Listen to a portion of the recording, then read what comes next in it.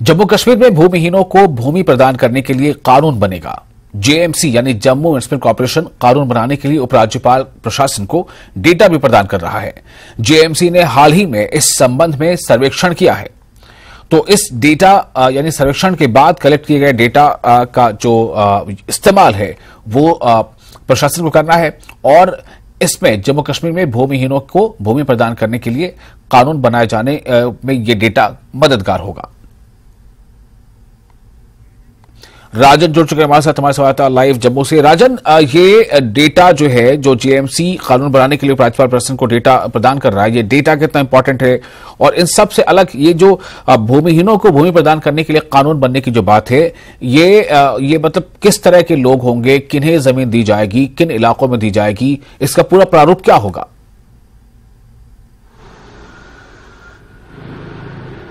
जी विशाल मैं आपको बता दूँ कि हाल ही में जम्मू म्यूनिसिपल कॉरपोरेशन की तरफ़ से एक सर्वे करवाया गया था जिसमें जीएमसी के ही कुछ ऑफिशियल्स सभी के घरों तक पहुँचे थे कुल जो पचहत्तर वार्ड है जो हम्म। जम्मू म्यूनिसिपल कॉरपोरेशन की लिमिट में आते हैं हम्म। वहाँ गए थे और वहाँ एक डाटा कलेक्ट किया था कि कौन क्या काम करता है उसमें कितने सदस्य हैं हाँ। ये एक कवायद ये भी थी कि जो जो अभी सेंसस होने वाला है उसके लिए भी डाटा कलेक्ट करना है और अब जब हमारी बात हुई है मेयर के साथ उनका कहना है कि यही डाटा जो अभी लॉ हम इलेक्ट करने वाले हैं एलजी एडमिनिस्ट्रेशन उसमें भी इस्तेमाल किया जाएगा क्योंकि हम्म। हमने इसमें तमाम जो उस तरह के डाटा कलेक्ट किए हैं किनके पास मकान पक्के मकान है किनके पास कच्चे मकान है या किनके पास ज़मीन ही नहीं है या जो रेंटेड अकोमोडेशन में रहते हैं और कब से रहते हैं और उनका कमाई का क्या साधन है आ, कितने फैमिलीज़ जो हैं वो आ, जो है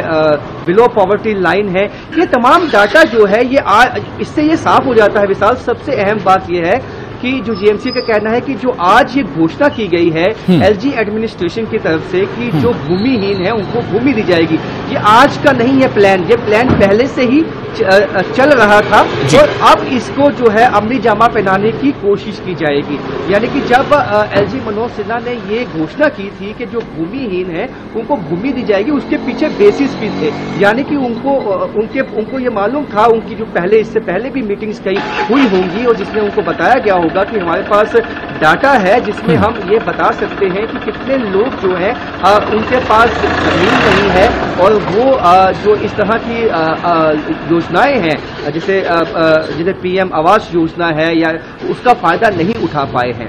तो इस इसी को देखते हुए ये काफ़ी अहम होने वाला है क्योंकि जम्मू म्यूनिसिपल कॉरपोरेशन ने जो ये सर्वे कंडक्ट करवाया है ये केवल सिर्फ़ भूमिहीनों को जो भूमि देने में जो डाटा चाहिए एडमिनिस्ट्रेशन को वो प्रोवाइड करेगा बल्कि इसके साथ साथ कई जो अन्य स्कीमें आने वाली हैं जिसमें जो जो राशन मुफ़्त देना है कभी या कई कोई अन्य स्कीम गरीबों तक पहुंचानी है ये तमाम चीज़ों में इसी डाटे का इस्तेमाल होने वाला है हम्म। ये खुलासा केवल न्यूज़ एटीन से जो है जम्मू म्यूनिसिपल कॉरपोरेशन मेयर ने किया है कि हमने वो डाटा प्रिपेयर किया है वो डाटा हमने जो है वो एडमिनिस्ट्रेशन को दे दिया है और उसी और हम भी चाहते हैं कि जो भूमिहीन है उनको भूमि दी जाए क्योंकि हमारे यहाँ कई स्कीमें ऐसी हैं जो सेंट्रली स्पॉन्सर्ड स्कीम है उसका फ़ायदा केवल इसलिए नहीं मिल पाता है क्योंकि आप उनके पास वो डॉक्यूमेंट्स नहीं होते क्योंकि यदि आपके पास कोई ज़मीन नहीं है मकान हम्म। नहीं है तो आपके पास रेजिडेंस प्रूफ जो है रेंटेड अकोमोडेशन का है